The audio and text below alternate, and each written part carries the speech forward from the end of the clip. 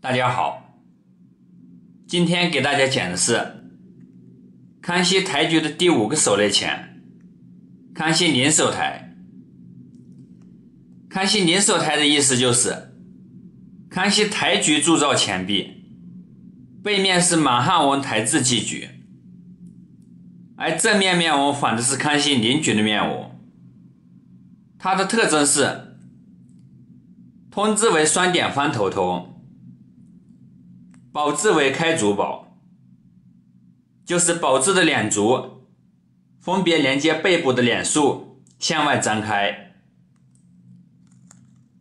背面满文台字一书，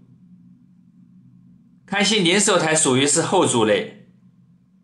直径在二十七毫米左右，存世非常的稀少，